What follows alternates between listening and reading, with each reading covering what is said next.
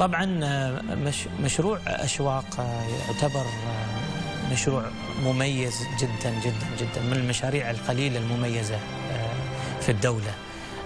واللي شجعنا أن الفكرة الأساسية لل- لل- للمشروع هذا إحنا نتكلم عن امرأة مواطنة تدخل في مجال صعب ومجال آه، لا يوجد فيه كثير يعني خبرة في المنطقة أصلا.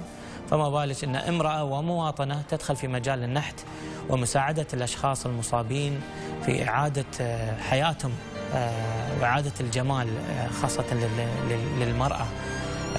هذا اللي شجع المؤسسة.